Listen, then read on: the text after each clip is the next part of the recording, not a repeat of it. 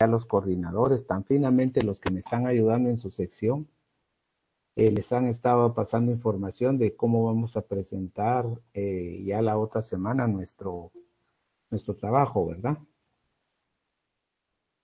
Para que ustedes trabajen su trifoliar, ya les repartieron temas. Yo creo que en esta sección, si no estoy mal, fue donde salieron 18, ¿verdad? O me corrigen. Sí, sí nos han enviado información, licenciado. Bueno. ¿Cuántos grupos salieron al final en esa sección en AB?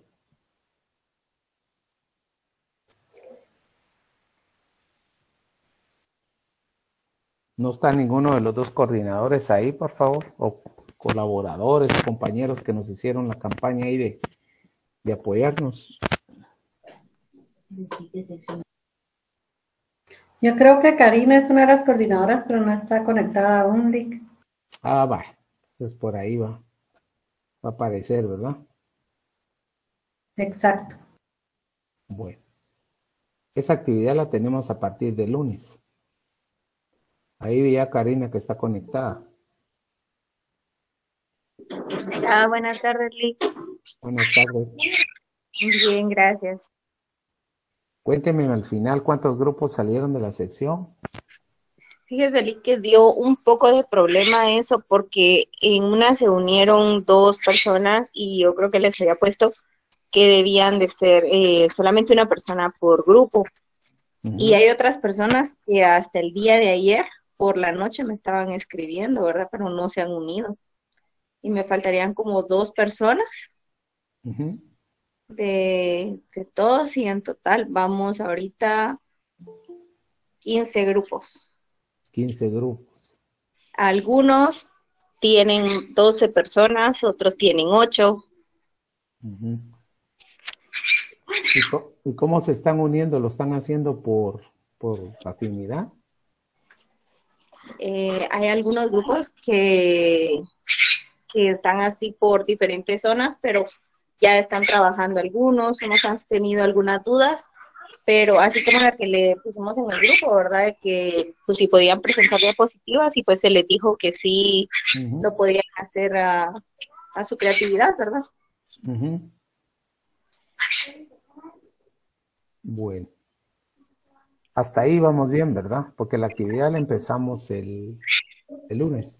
Ah, les pasé también que el día lunes ya pueden eh, pasar los grupos, pero como hay temas repetidos, ellos me preguntaban cómo van a pasar. Entonces yo les dije que los que tienen tema uno, pasa eh, uno primero y el otro uno después, para que lleguemos de uno, uno, dos, dos, tres, tres, cuatro, cuatro.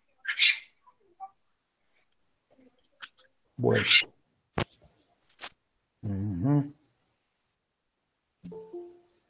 Bueno. buenas tardes. Sí, buenas tardes. Eh, solo con una consultita. Eh, para agregar los nombres de los compañeros, eh, ¿cómo podría ser? ¿Se podría incluir en la diapositiva o...? No, como ustedes me van a mandar a mí, el, me van a mandar únicamente su, su, ¿cómo se llama? Su trifoliar, ahí en una hojita aparte que vaya pegada o ahí miran cómo hacen el espacio para enviarme, la verdad, para poderles calificar. Sí, sí puede ir a, adicional al, trifoliar. sí, Sí, porque el trifoliar, recuérdese que es muy pequeño, ¿verdad? Entonces ahí solo son pinceladas. Eso es lo que yo voy a tomar en cuenta. Ah, eh, esa era mi duda, licenciado. Muchas gracias. Ahora los que van a hacer la, si los que vayan a hacer, vayan a usar diapositivas para hacer presentación, igual pueden ponerla, ponen el donde va el título, ahí van los nombres y comienzan a pasar sus diapositivas. Ahí puede quedar también. Ok, el nombre completo y el número de carnet. Sí, por favor. Nombre y carnet. Licenciado. Así es. Ok, gracias. Licenciado, buenas tardes. Disculpe una pregunta. eh, eh, eh, para enviarle el trifoliar, ¿cómo, ¿cómo va a ser la dinámica? Disculpe, licenciado. Eso lo puede, mire, primero a mí me lo pueden enviar en, me lo pueden enviar el día que les toca exponer o un día antes ya lo empiezo yo a, recibir, ¿verdad? Eso sería una. Eh, dos, les voy a, como ustedes este correo que tienen de tareas, ahí ya les mandaron un código para entrar a Classroom, ¿verdad? Entonces ahí es donde vamos a enviar todo. Ok, gracias. Licenciado, también me hacían otra pregunta con respecto a los que todavía no se habían podido asignar y también les hice saber que podían seguir la clase y lo que usted nos comentaba, ¿verdad? De que los puntos igual los va a ir acumulando y si a la hora de ya lograr inscribirse se les iba a pasar a, al otro catedrático, ¿verdad? Si los cambiaran de sección. Así es, yo, pues, yo hablo con el catedrático y yo coordino con él. No hay ningún problema. Licenciado, disculpe que lo interrumpa. Yo el día de hoy me pude asignar, por si alguien tuviera ese mismo problema, podría intentar asignarse en la página. ¿Los está dejando hacer eso ahorita? Sí, yo me acabo de asignar hace unos minutos. Ah, qué bueno, gracias por la información. De nada. Sí, otra pregunta. Fíjese que yo estoy en un, grupo, pero eh, para lo de la, para lo del lunes, pero el otro, o sea, pedimos información y no nos dicen nada. En ese caso, ¿qué podemos hacer? ¿Cómo así no les dicen nada? ¿Quién no les dice nada? Pues, o sea, como yo estoy en un grupo, ¿verdad? Pero, o sea, el coordinador no nos da ningún tema de qué hablar. O sea, estamos en cero, ¿verdad? Y así estamos más compañeros. Bueno, pero el tema ya lo tienen asignado. Lo que tienen que tratar de encontrar es investigar y tratar de hacer sus temas, ¿verdad? No, no hay tema. No hay tema. Sí, no, no que me han escrito, eh, yo les he asignado un tema. He procurado responder a todos los mensajes que he tenido, pero como le digo, hay algunas personas, yo desde el día jueves de la semana pasada empecé a preguntar quiénes no tenían grupo para poder unirlos e hice lo que dije, ¿verdad? algunos yo les tuve que crear el grupo y agregarlos pero hay algunos que no me han escrito para poder eh, asignarles otro tema. Y como digo, también me ha surgido el problema en el que se agregan dos personas del mismo grupo. Entonces les digo que ahí me causan a la vez eh, problema a mí, porque se les ha asignado dos temas a un grupo y me ha tocado estar componiendo eso y revisar a quienes se les asignaron dos temas. No sé si eso le contesta su pregunta, Cristian. Ustedes deben de colaborar con la compañera y hay otro compañerito, por eso yo dejé dos, porque les pedí que es una colaboración grande la que a mí me están dando, porque a mí no me queda el tiempo para hacerlo y eso que ellos están haciendo pues implica mucho trabajo. Entonces, hay un, ustedes tienen un chat de clase, entonces ustedes tienen que, que escribir ahí, traten de escribir solo lo que tienen que hacer porque cuando escriben mucho o repiten lo mismo, entonces uno ya pierde el interés de estar revisando. Sí, sí, está bien. Pero si tienen algún problema, pues con respecto a los temas, pues yo estoy en toda la disposición de que me escriban a mi número y con mucho gusto para poder eh, coordinar bien lo de los temas, ¿verdad? Pero sí, como le digo, hay algunas personas que ayer inclusive me estaban escribiendo hasta las diez y media, once de la noche, y más sin embargo yo he hecho lo posible por responderles a todos los que me han escrito. Pero como le digo, si tal vez alguno se me pasó, pues entonces que me haga el favor de volverme a escribir y yo con mucho gusto le doy un tema, ¿verdad? Gracias, Karina, por su apoyo, porque sí lo hemos recibido. Muchas gracias, compañera. Gracias, Karina. Igual ahí te vamos a escribir como te comentaba, pero nosotros no, en sí, nuestros compañeros, los que somos del grupo, pues no tenemos ni un tema, ¿verdad? Pero yo te voy a escribir para que nos des un tema y yo ya con ellos me pongo de acuerdo y en serio te agradezco mucho tu ayuda. sí, muchas gracias. Lo que sí les pido es que sí me puedan colaborar, porque como le digo, sí he tenido mucho problema con eso, ¿verdad? Porque yo creo que les he puesto en el grupo de hecho, lo tengo bloqueado para que no puedan escribir los demás integrantes de los grupos para poder eh, coordinar solo una persona. Pero me escribe uno, al rato me escribe otro y me dice, no, es que él ya no va a ser el coordinador. Entonces ahí ya es problema interno del grupo, ¿verdad? Que no se ponen de acuerdo.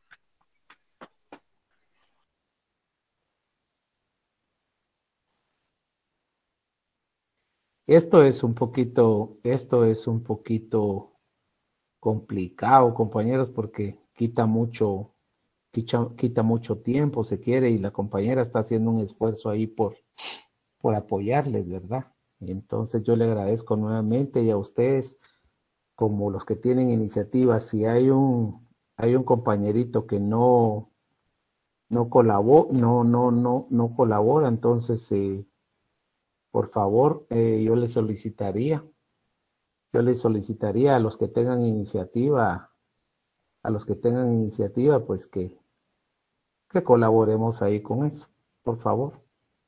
Entonces vamos a empezar la clase de hoy.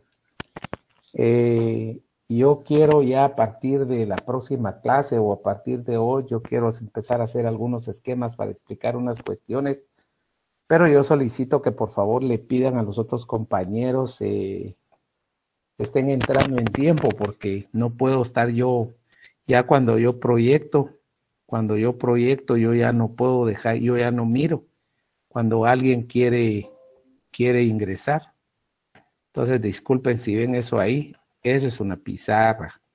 Entonces, lo que yo voy a hacer con ustedes va a ser eh, hacer unos pequeños esquemitas ahí para poder escribir y compartirles algo. Eso es lo que yo les digo, que los compañeros empiezan a pedir chance para entrar. Entonces eso ya me, ya, ya me deja a mí, ya me deja a mí con el problema que no puedo no puedo dejar de, no puedo, no puedo proyectar porque tenemos ese problema. Bueno, entonces voy a, vamos a comenzar la clase, por favor. Eh, ya bajaron la grabación, ¿verdad? De la clase anterior, la del día miércoles pasado.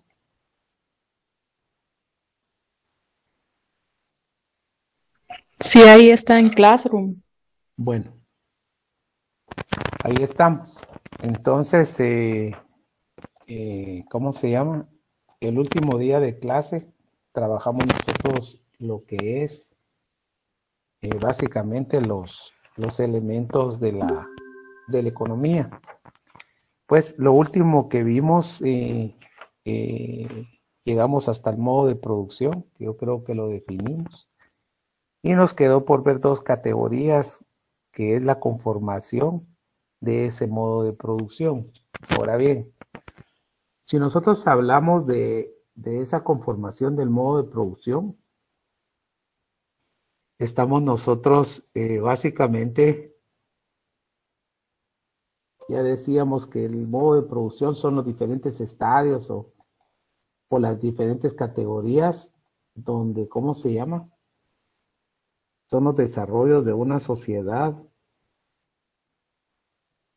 o aquellos, aquellas épocas que se han dado donde el hombre ha ido evolucionando. Y decíamos nosotros que las fuerzas productivas pues son el embrión, ¿verdad? Son, son el embrión o el motor para que una sociedad vaya en desarrollo. Precisamente eh, cuando hablábamos nosotros de lo que es un modo de producción, nosotros estamos eh, básicamente, tiene dos componentes, tiene dos componentes. El primer componente, que lo vamos a escribir, voy a hacer un medio dibujito aquí para explicarles. Vamos a ver si agarro la tinta negra aquí, creo que está. Entonces son los dos componentes. Está muy débil la tinta, quiero ver. Vamos a ver aquí. Aquí creo que sale. Ahí está. Permítame un segundo. Vamos a ponerla más fuerte todavía.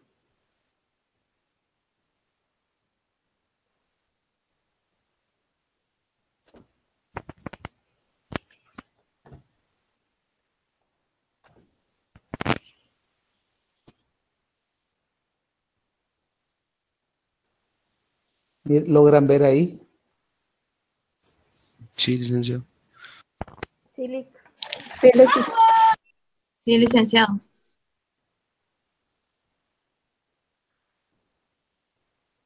Vean, aquí tenemos nosotros estos dos cuadritos. Bueno, ¿a dónde quiero llegar acá? Primero, nosotros la última, la última definición que vimos fue la definición de que es un modo de producción, ¿verdad? Cuando hablamos nosotros de un modo de producción, básicamente estamos hablando nosotros de aquellos estadios o aquellas formas en que la sociedad humana ha ido evolucionando, ¿sí? Entonces, acá, disculpen, pero ya tenía algunos mis meses de no, de no escribir en esto, y esto se pierde un poco de práctica porque es bien sensible. Entonces acá, aquí tenemos nosotros lo que es un modo de producción. El modo de producción tiene dos características intrínsecas. La primera característica intrínseca es lo que se le conoce como supraestructura. Si nosotros hablamos de una supraestructura,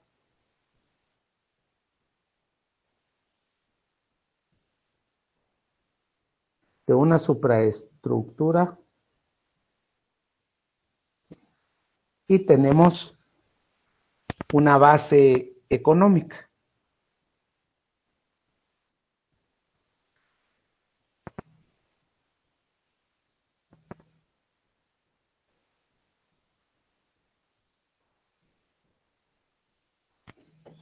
Cuando hablamos nosotros de una base económica, estamos hablando nosotros de la segunda categoría. Es como tener un cuerpo, un cuerpo y una cabeza. Cuando nosotros hablamos de un cuerpo y una cabeza, tenemos nosotros acá, eh, pensemos en algo. Bueno, miren pues, aquí se los voy a explicar y después lo vamos a definir. Mm, Pensemos en ustedes como seres humanos que son. Si esto es, si esto es la cabeza, ahí en la cabeza, ¿qué hay? Pregunto. Ideas, pensamientos, ah, conocimientos. Ajá. Bueno, entonces, si nosotros pensamos que hay ideas, que hay conocimientos, aquí en la supraestructura nosotros tenemos nosotros tenemos ideología, tenemos instituciones, es decir, el Estado, instituciones, aquí le vamos a poner Estado, Cuando ponemos Estado podemos hablar de gobierno. Tenemos religión.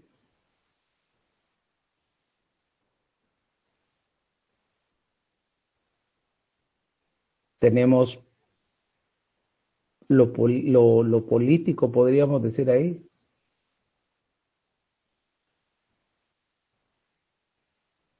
Es decir, tenemos todo aquello que hace que un aparato, que un aparato, eh, ¿cómo se llama? Que un aparato funcione. Porque el Estado, si ustedes se dan cuenta, el Estado como tal es el que rige, ¿verdad? Es el que rige, es el que rige todo el componente de una sociedad a través de sus instituciones. La ideología que conlleva, la ideología puede ser política, puede ser religiosa, Acuérdense que hay ideología de centro, ideología de derecha, ideología de, izquierda. Eh, el Estado, lógicamente, para poder gobernar necesita de instituciones, ¿verdad? O sea, todo lo que es en términos, en, términos abstractos se podía, o términos no productivos, y se encuentran dentro de una supraestructura. Porque cuando hablamos de, de economía, nosotros nos interesa a nosotros eh, puramente el tema productivo. ¿Sí? Puramente el tema productivo.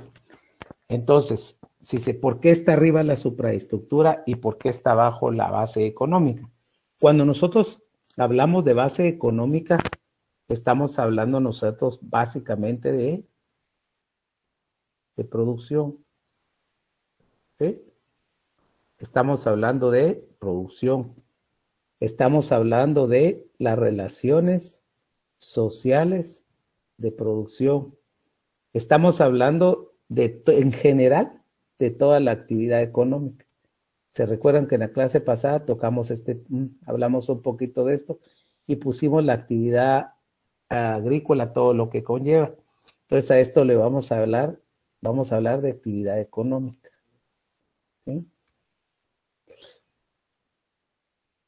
Económica. Entonces, si hablamos nosotros eh, de la base económica, ¿por qué la base económica? O sea, la que, la que genera productividad, la que genera productividad es esta. Esto genera productividad. Esto genera productividad. Esto genera ingreso. Esto genera renta. Y aquí podríamos hablar de empleo. Y ahí se deriva todo. Por eso cuando hablamos de las relaciones sociales en esta segunda categoría, en esta segura, para poder producir, ¿quién va a producir? El hombre, ¿va? O sea, el hombre es el que va a trabajar. En donde el hombre interactúa su experiencia, sus conocimientos, sea la especialización de trabajo, que sería la fuerza de trabajo, acá, en las relaciones sociales de producción. Y todo eso, lógicamente, cuando hablamos de actividad económica, es una actividad general, pero es una, hay ramas específicas como la agricultura, la, la industria y el comercio. Y esas actividades en sí, todo esto, se da dentro, generan el campo de productividad, ingreso y renta. Y si ya tenemos nosotros esta idea, eh, vemos por qué está arriba, ¿sí?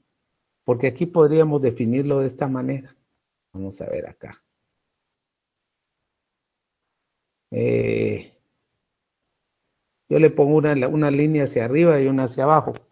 ¿Por qué creen que hago yo esto o les hago la pregunta? ¿Quién determina quién? O sea, ¿qué determina la, qué determina la actividad económica de un país? Si es la supraestructura o no. Oigo comentarios y llevémosla al caso guatemalteco, por favor. O sea que tienen relación ambas. ¿Por qué?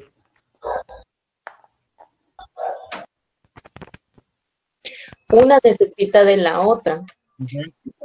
Y la y la supraestructura va a dar la base o, va a ser, porque ahí está el gobierno, está la institución, entonces es el que va a regir y va a, va a normar la manera en que se va a dar esa base económica.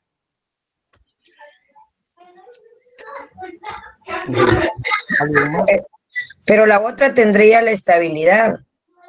¿Cuál es la otra? La base económica. Lick, disculpe.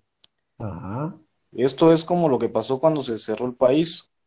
Entonces la superestructura se fue, la, la, de arriba se vio afectada porque la base económica se detuvo. Entonces ahí vemos el claro reflejo de que una necesita de la otra. Ahí también entraría. Ahí también entraría entonces los, los cambios ya ¿verdad? De, de nuevas leyes económicas eh, en, en, referente a lo que el compañero decía, porque al verse afectada la base económica, la otra va a, va a detenerse, entonces se dan nuevos cambios. Pero esas serían leyes o serían políticas económicas? Políticas económicas. Ah, políticas son, son, políticas, ¿verdad? Que les dije, las políticas son instrumentos que utilizan los, los gobiernos o los estados para poder tener interfer para poder intervenir en cualquier rama o cualquier actividad, sea económico, sea social o sea político o humano, propio, lo social que incluye todo, ¿verdad? Entonces vuelvo a preguntar yo, ah, ¿quién depende de quién o quién implanta a quién? ¿La supraestructura influye sobre la base económica o es la base económica la que influye sobre la supraestructura? Ya me dijeron ustedes que todas necesitan de quién, pero... Yo diría, yo diría que la base económica es la fundamental. Ajá. Eh, yo creo que también sería la base o estructura económica porque de ella Ahí entran las relaciones sociales de producción, las fuerzas productivas, que son fuerzas de trabajo y los medios de producción. Yo diría, licenciado, que la, la superestructura. Yo igual, porque habla de instituciones y justamente el día de ayer en clase de ciencia política hablábamos sobre el CACIF, que es la institución que tiene los hilos de la economía en el país prácticamente.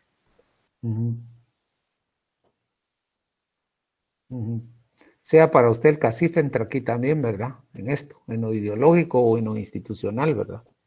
Solo que por la vía privada, ¿sí o no? Así es.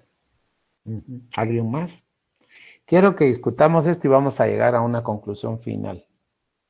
Miren, definitivamente la base económica es la estabilidad de un país, ¿verdad? Ahora yo pregunto, eh, ahora yo pregunto, eh, ahora yo pregunto,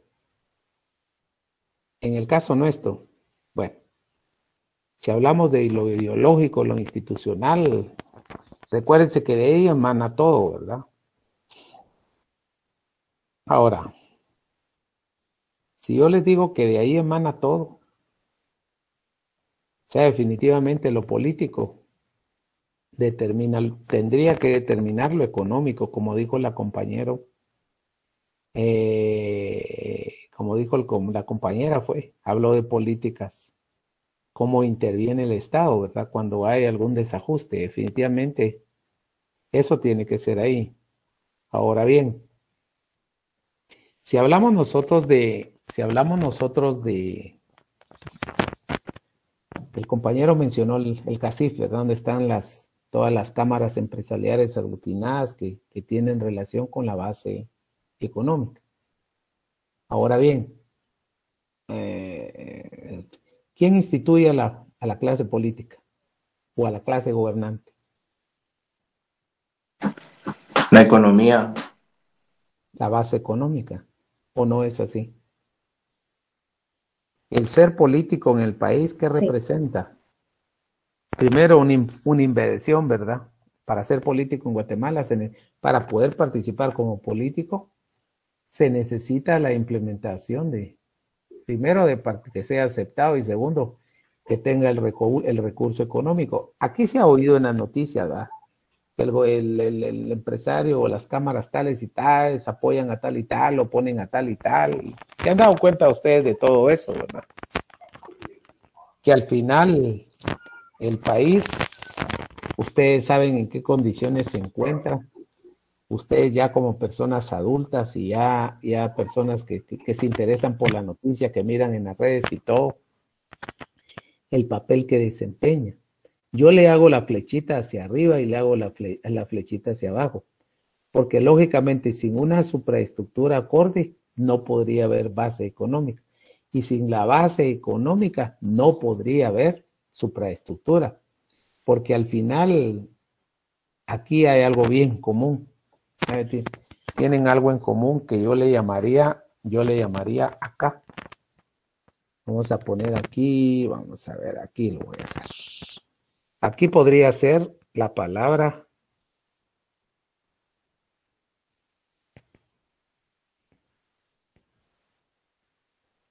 intereses, ¿sí o no? Sí. Sí, licenciado. ¿Tienen que haber intereses en común o no? Pregunto. Beneficios. Sí, pero beneficios intereses en común para ambas. Así pero, es. Pero al final siempre va a salir la, la, parte de la supraestructura, la que va a salir mejor beneficiada en todo.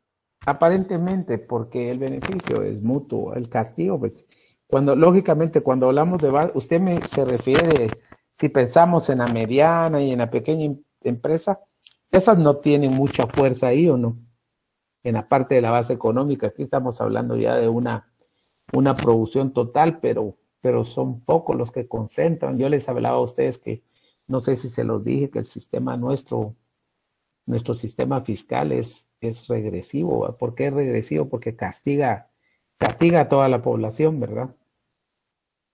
Porque el costo, solo, el, impuesto solo se traslada y quién lo paga al final, el consumidor, ¿va? Por eso se decía que es, los intereses lógicamente son estos, económicos, ¿verdad? Entonces tiene que ser una política, una política que le permita a, este, a este segmento seguir con esto, ¿verdad? En su actividad económica y lógicamente generar que esto, ¿eh? ingreso y renta. No sé si me explico. Definitivamente las dos se complementan. Y esta es, esta sería el papel de esta, ser el rector, ¿verdad? Ser el rector de toda la política económica para echar a andar el crecimiento económico. Pero así es, así es como debería de ser.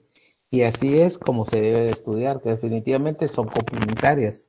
Este dicta cómo y este solo cumple con todo, es decir, cumple con, con, con dar trabajo, o sea, cumple con producir, pero para, para producir se necesita, se necesita fuerza de trabajo, para producir se necesita pagar salarios, cumplir con todas las condiciones, todas las condiciones que, que ustedes ya saben, ¿verdad? O sea, tener derecho a su salario, un trabajo digno, tener derecho a sus prestaciones, tener derecho al seguro social, eso ustedes sabrán en, en las condiciones que se encuentra cada uno, me explico.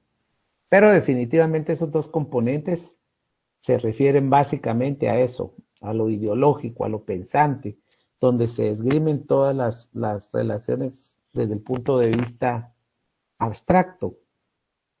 Esto es abstracto y esto va a ser concreto, ¿verdad? Que al final los dos, estas dos categorías están inmersas, ¿sí? Están inmersas dentro de un modo de producción, ¿sí? Entonces, de todo esto que estamos hablando aquí, sale un, sale un, ¿cómo se llama? Sale un concepto muy general que abarca todo. Entonces yo voy a hacer una línea acá. Sería todo esto, vean. Bajamos aquí, nos venimos aquí y subimos acá. Entonces todo esto va a ser la formación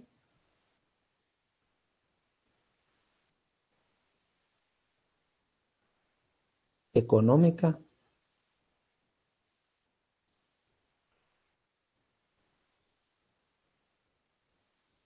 y social. Económica y social. Ahora, si definimos nosotros eh, cada una de estas así en términos generales, pues eh, definitivamente la supraestructura, si ustedes se dan cuenta, se condiciona con la base económica. Pero esta supraestructura a su vez influye sobre ella, o sea que se relacionan mutuamente, no se pueden separar, ¿verdad? La supraestructura está conformada por todas aquellas relaciones sociales no económicas. Todo esto es no económico. Si hablamos nosotros de la supraestructura, estos elementos no son económicos, ¿sí? Mientras que la base económica, todo esto que está aquí, son relaciones económicas. Aquí se da lo económico y aquí se da lo no económico. ¿Preguntas hasta ahí?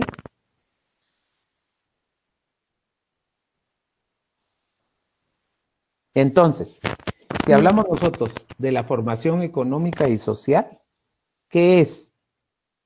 Es primero, representa un tipo histórico de sociedad que se basa en un determinado modo de producción y que constituye una etapa del desarrollo progresivo de la historia mundial de la humanidad. Ya es más general, porque si hablamos nosotros de un determinado modo de producción, ustedes ya saben qué es esa categoría. Y dentro de la formación económica social, que me, contempla el modo de producción, ahí hay dos categorías bien importantes, que es la supraestructura y la base económica. Estas se le llama formación económico-social porque siempre está en constante evolución, siempre está en constante desarrollo. Por eso se dice que una formación económico-social es transitoria ya que a, través del tiempo, ya que a través del tiempo, esta se va, esta va evolucionando, esta va en desarrollo porque nunca puede ir para atrás. Porque si pensamos nosotros en el caso nuestro de Guatemala, Guatemala ya no es la misma de hace 20 años. Los problemas, pues, son muchos, como todas las naciones tienen problemas, pero ejemplos muy simples. Hace 20 años existía, hace 20 años pensaríamos nosotros en dar clases de esta forma, de manera virtual. Pregunto. No. No. se venía venir. No. Hace 20, no. hace, Hace 20 hace años en 20 internet todavía, creo. No se podría. Hace 20 años existía, por ejemplo, hace 20 años existía, por ejemplo, los teléfonos que ustedes ahorita tienen en mano, porque muchos están recibiendo clase con su teléfono, ¿no? Una buena parte de usted. Se conectan un link y van para adentro. Antes no existía nada de eso. ¿Sí? Entonces, esa es, esa es la finalidad de entender por qué la formación económica y social eh, va en evolución, porque esto va de la mano. La economía que estudia fenómenos y problemas que aquejan a la sociedad. Y base, básicamente, ¿qué persigue?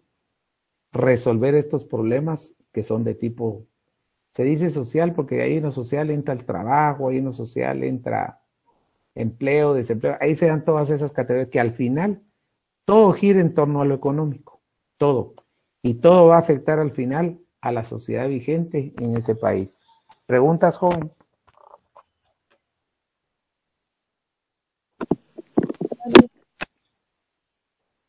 ¿No? ¿Estamos bien ahí para, para seguir? Sí, por mi parte, sí. Bueno. Entonces, ahí estaríamos nosotros con lo que es básicamente esas dos categorías. Después de esas dos categorías, nosotros seguimos, bueno, si hablamos de formación económica social, si hablamos de base y supraestructura, vamos de regreso con lo que es el modo de, en un modo de producción que ya sabemos que son las diferentes etapas, son las diferentes etapas o desarrollos que ha vivido eh, la humanidad. Entonces, dentro de esto eh, se han dado los siguientes modos de producción como es la comunidad primitiva, el modo de producción esclavista, el modo de producción feudal, el capitalismo y caemos a lo que es el socialismo, que fue la última forma de organización social que se conoció de esa naturaleza y que hoy por hoy pues ya no está vigente. Y vamos a ir poco a poco para ir sacando algunas características para poder diferenciar una situación, o sea, un, un modo en relación a, esto, a otro. Si hablamos nosotros de la comunidad primitiva, vamos a ver aquí.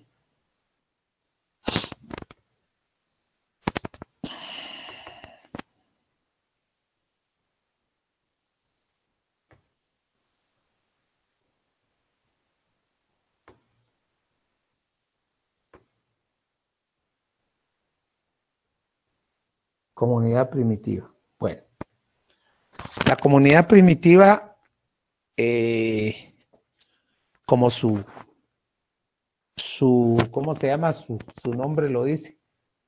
Era una etapa prehistórica. Era una etapa prehistórica que en la cual se dieron tres etapas. En las tres etapas eh, se dio la primera, que es la eolítica, política. La segunda, que fue el periodo paleolítico.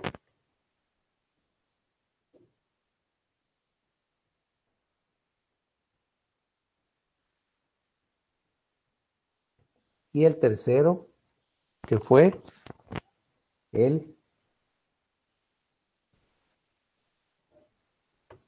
neolítico. Estas son las tres etapas. Ahora bien, si nosotros hablamos básicamente lo que es la comunidad primitiva, mm, nos enseñaron a nosotros, se recuerdan, eso se vio en la secundaria, la forma en que el ser humano se dice, hay dos teorías, ¿verdad? La primera teoría es que se dice que nosotros somos descendientes del mono. Esa es la teoría científica. Y la otra teoría, o sea, la, religiosa, o es que nosotros somos hechos por Dios, ¿sí? Entonces, lógicamente nosotros, los que somos creyentes o los que tenemos alguna, alguna religión, somos, fuimos creados por, ya saben, por el cielo, fuimos creados por semejanza, fuimos creados la mujer que era, salió de la costilla, y en fin, pero igual, cada quien tiene su forma de, de, de expresar, cada quien sabe de qué origen somos, ¿verdad? Si fuimos creados por divinidad. Y centrémonos básicamente en lo que nos interesa, que es esta corriente, ¿verdad? Que es la que se enseña. Eh, cuando hablamos nosotros del desarrollo de la humanidad, bueno, hablemos primero del hombre. El hombre, si se dice que fue descendiente del mono, pues el, el hombre vino también evolucionando, se habló del hombre neandertal, del Pithecanthropus, en fin, hasta que el hombre aprendió a caminar de una manera erguida. Al decir que el hombre comenzó a caminar de una manera erguida, es que el hombre se paró, ¿sí? Se paró, es decir, agarró una, una posición erecta, es decir, separó las manos de la tierra como hoy por hoy caminamos nosotros. Otra de las características ahí es que se fue desarrollando un lenguaje articulado. Cuando este lenguaje articulado comenzó a fluir es porque el, el hombre ya venía evolucionando también y el hombre necesitaba poder comunicarse con la otra porque estos vivían en estos vivían en cuestiones en, en ¿cómo le podría decir yo? Pensemos que el hombre también vivió en, manada, esa era la palabra que se usaba. Pero cuando el hombre hablaba en manada, aquí hay tres cosas. Primero, el hombre vivió como una horda salvaje, ¿sí? Después de la horda vino una gens. Ahorita voy a explicar la diferencia. Luego de la gens ya se vino un clan. Luego del clan vino una tribu. Luego de una tribu, ¿sí? vino una federación de tribus. Y luego de una federación de tribus vino a conformarse lo que es un estado. Entonces, si nosotros vemos todo esto, veamos aquí. Esta es, la, esta es la, forma de organización social más antigua que el hombre conoce, una horda. Bueno, en una horda era poca la, ahí fue donde se comenzaron a desarrollar, a desarrollar ese lenguaje articulado que ellos necesitaban. Pero ¿para qué necesitaban ellos comunicarse? Primero para esa sobrevivencia, ¿verdad? Porque tareas económicas en esa época solo existía una. ¿Sí? Solo existía una, que era obtención de alimentos. Pero ¿cómo era esa obtención de alimentos? Esa obtención de alimentos, pues el hombre era carroñero, ¿verdad? Era carroñero porque no tenía instrumentos, no tenía absolutamente nada para poder, eh, para poder eh, cazar, sino que eso lo fue haciendo conforme fueron viendo sus necesidades y aprendieron a, comunicarse entre ellos. Aquí realmente no, no existían distingos de, no existían distingos de, de familia, no existían eh, distinciones de nada, sino que aquí lo que, aquí lo que prevalecía era todos contra todos, al decirle todos contra todos, pues hay un libro que se llama la, eh, la familia y la propiedad privada, el origen de la familia, la propiedad privada y el Estado, de Federico Engel o Federico Engel. Este básicamente hacía un resumen de todo esto, cómo fue, cómo, cómo fue necesaria la familia, que en la constitución política nuestra dice que es el embrión de todas, es el embrión de la sociedad, ¿verdad? Y el origen del Estado. Aquí está plasmado. Pues este básicamente lo que él decía era cómo se conformaba, cómo se conformaba la, la, la familia y cómo fueron separando hasta llegar a las, a las líneas a las líneas que hoy por hoy existen. Aquí no había ninguna división de familia. Aquí lo único que se hacía, aquí lo único que se hacía, eh, ¿cómo se llama? Era obtener alimento que se hacía de una, eran los frutos que se da, eran los frutos que conseguían y un poco de carne que era carroña, ¿verdad? Porque el hombre cuando empezó a probar carne era carroñero, comía lo que encontraba de animales muertos o, o los sobrantes que dejaban ahí algunos algunas algunos otros animales de esa época, ¿verdad? De la época prehistórica. Luego, cuando una horda se encontraba acá y había otra horda acá, otra horda acá y otra horda acá, de esas hordas se conformó la gens, que era la segunda forma de organización, era la, segunda forma de organización que se dio. Entonces aquí ya podían compartir ellos, ya podían compartir ellos un poquito más de experiencias, ¿verdad? Las experiencias de, de casa principalmente, las experiencias de, de algunos que tenían, algunas hordas eran más, un poquito más desarrolladas que otras, ¿verdad? Entonces, si nosotros pensamos en el periodo heleolítico, bueno, la, etapa o el paleolítico o eleolítica, como ustedes le quieran llamar, aquí, eh, ¿cómo se llama? Ya en la, en agencia, ustedes quieren hablar, estaban, ellos utilizaban las piedras y los palos tal como la naturaleza se los daba. Es decir, ellos aprendieron, comenzaron a intercambiar, vieron que usar piedras y las piedras para bajar frutos y y los palos para defenderse de animales, ellos comenzaron a utilizar esas herramientas en esta primera etapa, porque eran instrumentos de uso, ¿verdad?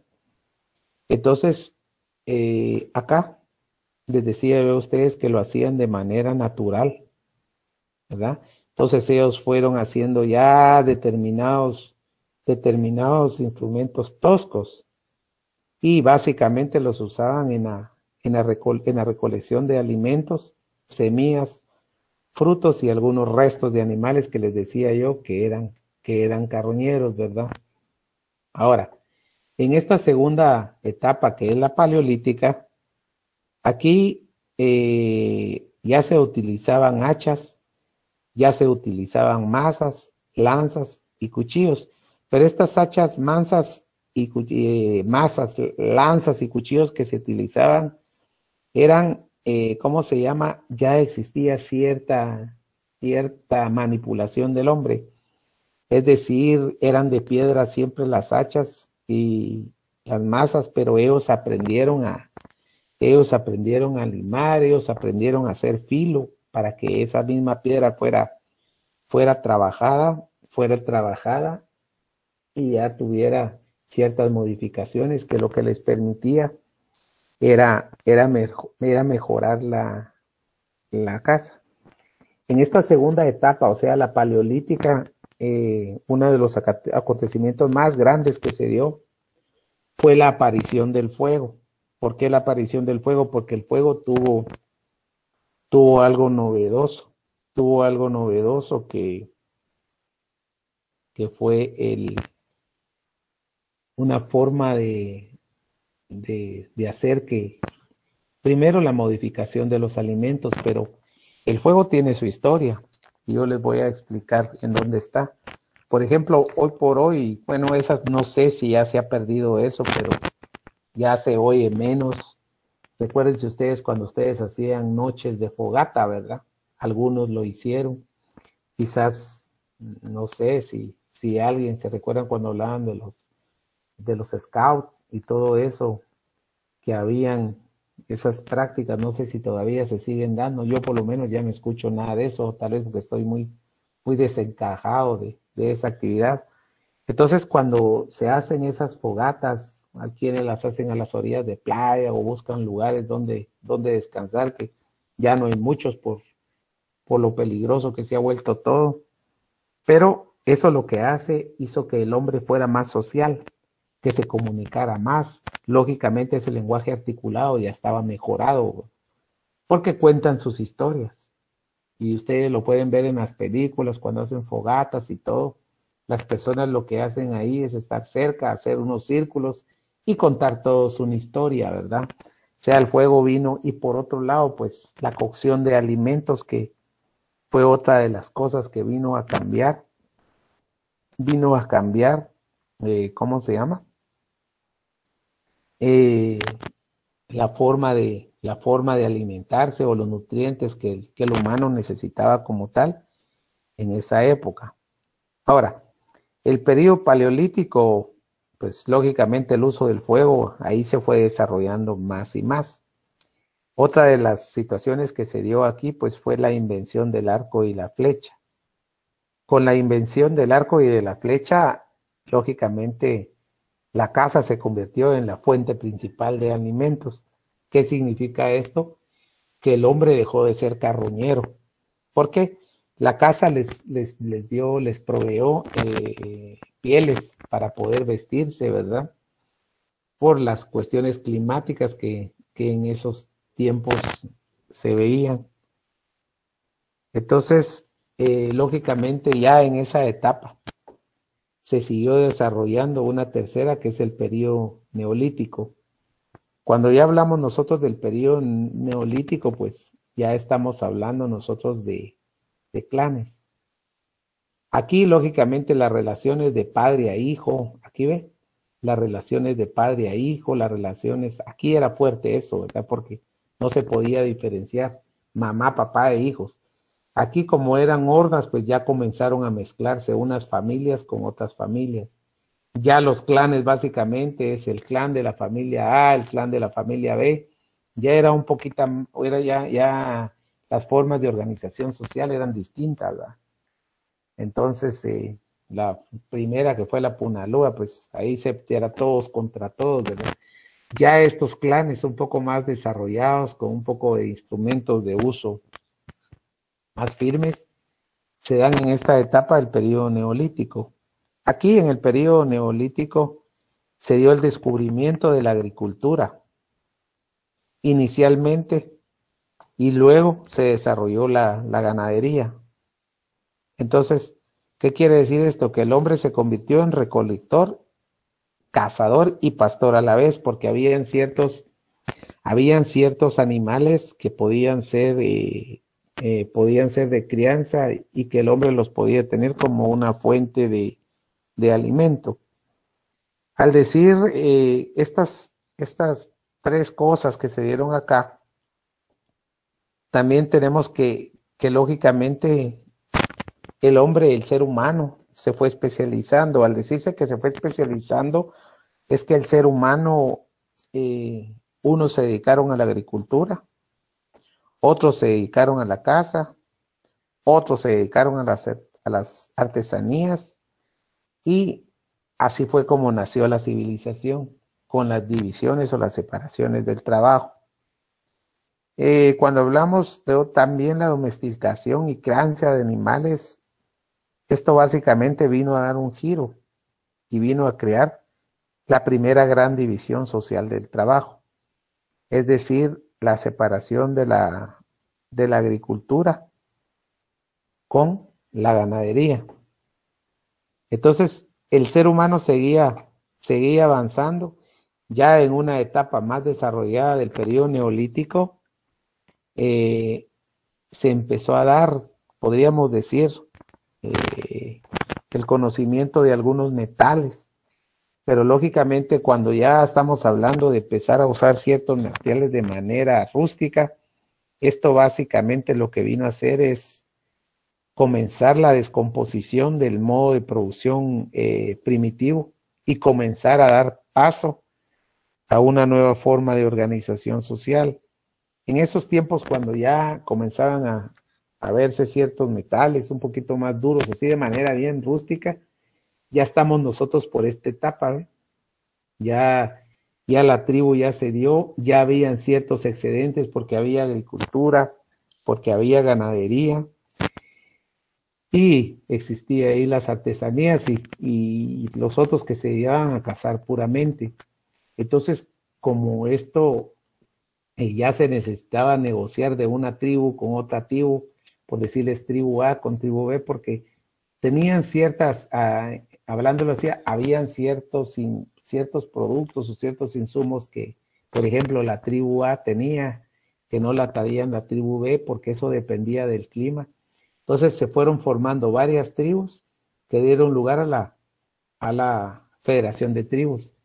Pero estas federaciones de tribus se dieron por el intercambio, por el comercio, de una manera simple que cambiar un producto por otro producto, ¿verdad? Dentro de esto mismo avance que se iba dando, eh, una de las características bien centradas del modo, el modo de producción primitivo, la comunidad primitiva, como le quieran llamar, es que la propiedad privada no existía. ¿Sí? Repito, la propiedad era comunal. Debemos tener claro que en esto, ¿eh? en la comunidad primitiva, la propiedad de la tierra, que era lo más importante, donde se iban asentando las tribus y todo, eso era comunal, era de uso de todos, ¿verdad? O sea, si alguien les pregunta a ustedes, si la, en la comunidad primitiva la propiedad de la tierra era privada, la respuesta ¿cuál va a ser? Que no, licenciado. Era que no, licenciado. Que no, lic. La propiedad entonces era comunal. Y el trabajo, pues lógicamente era a través de cooperación simple, o sea, todos hacían sus tareas. Como por ejemplo, la mujer Dentro de este modo de producción existieron dos periodos. El periodo patriarcal, que fue primero, que era cuando el hombre era el, rector de toda la actividad productiva, o sea, económica como tal, pero eso no funcionó y al final se dio también el, el, periodo matriarcal, es decir, que la mujer tenía la actividad rectora de la actividad económica. Pero entonces eh, se dieron cuenta que había ciertas tareas que la mujer no las podía hacer, como por ejemplo cazar, ¿verdad? Las actividades más peligrosas o pesadas pues eran propias del, del hombre y nuevamente se dio en ese, en ese modo de producción la época patriarcal, sea que es el dominio del hombre, ¿verdad? En toda la actividad rectora. Pero dentro de esta, de esta división del trabajo, dentro de esta división del trabajo, eh, aquí la mujer tenía un papel bien importante porque la mujer casualmente descubrió la horticultura. Es decir, se dio cuenta cómo las, los frutos que ellos, los frutos que ellos consumían, esas semillas desechadas germinaban, es decir, que se reproducían. Y fue así como surgió una división natural de trabajo. Es decir, los hombres se van a la casa, a la pesca y a la recolección, y las mujeres atienden y dirigen los trabajos hortícolas, cuidan la vivienda, guardan el orden y protegen a los niños. Eso se le conoce como división natural del trabajo. Por otro, eh, con el aparecimiento, es decir, cuando aparecen los, agricultores y ganaderos, se da la primera división social del trabajo. Y con el aparecimiento de los artesanos surge eh, la segunda división social del trabajo. ¿Preguntas hasta ahí, jóvenes? No, Lic. No, Lic, No, licenciado. ¿Sí? Bueno, a raíz de toda esa dinámica a raíz de toda esa dinámica que se da, a raíz de toda esa dinámica, entonces esas fuerzas productivas siguen creciendo, siguen creciendo, y hay un momento en que ciertas, ciertas, ciertas tribus o dentro de esos grupos sociales aislados, ya existía eh, muchos bienes, como tierra, como instrumentos de labranza, como instrumentos de caza, eh, se fueron perfeccionando de una manera, podríamos decir, el, el metal ya lo comenzaron ellos a utilizar en utensilios para alimentación y sobre todo para la casa, porque ellos, para ellos eso era una cosa bien importante y a la vez que unas tribus eran más fuertes que otras y eso vino a provocar saqueos. Y lógicamente cuando una tribu era sometida, estas personas pasaban a ser botín de guerra, si ustedes lo quieren llamar, pues esclavos, pero ahí se le conocía como botines de guerra que los, los usaban para, para hacer ciertas actividades. Pues toda esa infinidad de bienes que fueron acumulando ellos, lógicamente los más fuertes dominaban a los más débiles, ¿verdad? Esa es una práctica que, que se vino a dar desde que el hombre comenzó a, a estar en sociedad. Entonces, a raíz de eso, vino a surgir la propiedad privada, porque ya las personas, ya las personas, eh, ¿cómo me llama? Tenían sus bienes. Y, y con el aparecimiento de la propiedad privada, es la característica para el surgimiento del Estado. O sea, con el Estado surge con el aparecimiento de la propiedad privada. Recuérdense, en la comunidad primitiva no existía Estado. ¿sí? Entonces, eh, ¿cómo se llama? Surge la propiedad privada por toda esa acumulación de riqueza que se dio y eso trae como consecuencia la creación del, del Estado. O sea, la característica, repito, que da origen al nacimiento del Estado es la propiedad privada. O sea, la, la propiedad privada necesitaba de un Estado que pudiera resguardarle sus bienes. ¿Estamos hasta ahí? Sí. Sí, licenciado. ¿Preguntas, mis estimados?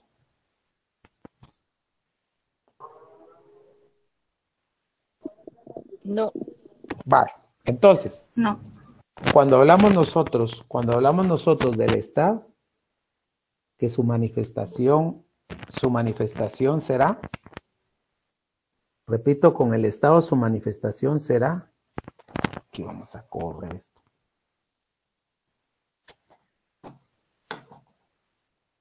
Aquí. Entonces, su manifestación sería, con el Estado surge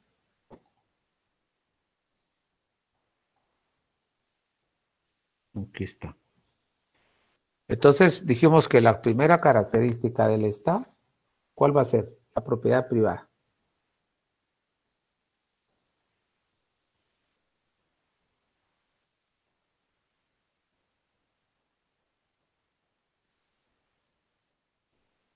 Entonces, ¿cuál es el, el, ¿cuál es el primer estado que conoció la, la humanidad?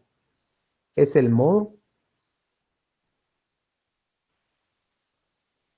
de producción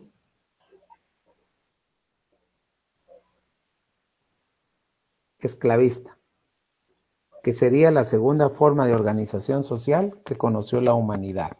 ¿Entienden cómo va terminando uno y cómo entra el otro?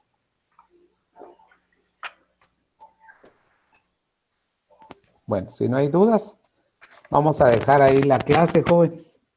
Vamos a dejar ahí la clase. Eh, vamos a seguir el día lunes, pero el día lunes vamos a seguir nosotros con, vamos a seguir nosotros con el tema que ya les toca a ustedes comenzar a exponer. Entonces, se preparan todos para el día lunes. Yo les dije que les iba a dar como siete minutos u ocho lo más, o puede ser que cinco minutos para entrar de lleno a lo que yo necesito ahí manejan bien su tiempo, ahí entran de, ahí entran de lleno a lo que tienen que hacer para no darle mucha vuelta a eso. Disculpe, antes de que se empiecen a salir los compañeros, hay muchos que me están escribiendo que aún no tienen ni siquiera grupo. Entonces voy a poder crearles un grupo, pero que me tengan paciencia para poder unirlos a todos, porque hay muchos que les he creado grupo porque no tenían, o sea, andaban como que mire y dónde, ¿verdad?